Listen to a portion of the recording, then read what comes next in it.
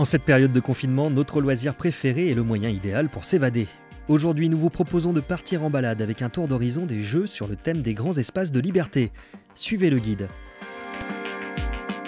Première escale, la région des jeux en monde ouvert, avec les destinations les plus prisées de Zelda Breath of the Wild, Red Dead Redemption 2, Skyrim ou The Witcher 3. Des mondes parfois impitoyables, mais où la poésie peut reprendre ses droits et offrir de beaux moments d'évasion, sans compter les centaines d'heures de jeu à la clé. Autre destination de qualité, mais qu'on a tendance à oublier, Final Fantasy XV, Sea of Thieves, Horizon Zero Dawn ou Death Stranding. À pied, en voiture ou en bateau, vos randonnées vous offriront un dépaysement garanti. Direction maintenant le Japon, qui a également de belles destinations et activités à offrir.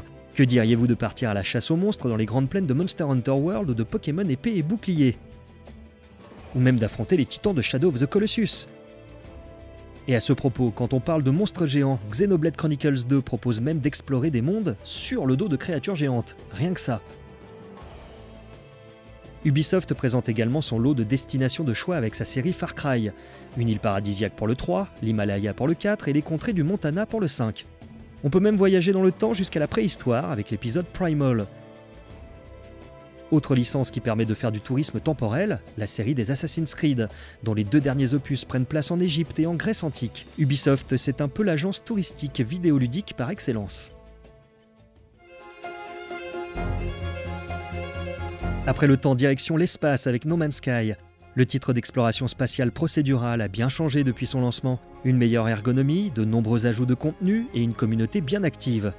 Autre jeu d'exploration, mais plus orienté narration, Outer Wilds propose une multitude de planètes à découvrir dans le laps de temps imparti avant la fin du monde. Dit comme ça, c'est un peu anxiogène, mais le principe de boucle temporelle permet d'explorer l'univers de manière différente à chaque partie. On redescend sur Terre avec Firewatch, qui propose d'incarner un pompier de garde dans une réserve naturelle. Une randonnée en plein air bucolique qui propose une intrigue bien ficelée. Et on termine notre parcours avec l'une des aventures les plus poétiques de cette décennie, Journey. Malgré sa courte durée de vie, le voyage initiatique est toujours aussi marquant grâce à son ambiance éthérée, sa musique envoûtante et la poésie qu'il dégage. Du grand art, tout simplement.